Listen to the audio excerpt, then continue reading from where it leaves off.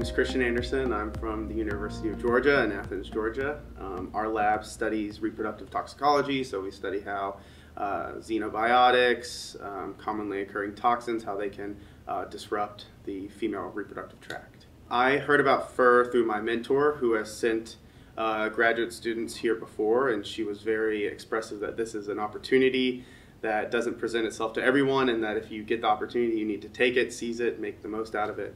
Um, so my mentor kind of really uh, showed me what FIR was, and so that's kind of how. I want to be a FIRBee to meet a lot of the people um, in the field of reproduction that you don't get to meet at, say, um, your certain conference. So some of us go to one conference, others go to another, and so you kind of get this opportunity to merge those two uh, groups together. Um, it has some clinical aspects to it, which I want to uh, get involved in in my postdoc. So it was good to hear from people who are kind of working the clinics. Um, um, I also hope to, you know, make 20 new best friends. That's all, obviously a big part of it. The community, uh, the FIR community, is very large and uh, very supportive of each other. So it's kind of this huge network. Um, that's really great. Um, I also wanted to come to obviously learn all these new techniques that we learn in the lab and be um, and learn about all the different uh, topics in the lectures, new topics. So the first section was completely new to me. Um, so it's, it's always good to get that experience um, in you. I think probably the main area most people will say that the, being a FIRBee will impact your career is kind of this, this networking opportunity, this uh, really intensive time in Woods Hole where you're just you're one-on-one with all these leaders in the field and you get this great opportunity to learn how they progressed in the field and their mistakes they made and how you can kind of uh, learn from those mistakes and try to not make as many. Um, and so I, I, would say that the, the main aspect of kind of what being a FIRBee means is just kind of this opportunity to connect with the field as a whole um, and have that time away from kind of the world and this wood and Woods Hole environment uh, to really kind of grow relationships with some of these uh, people.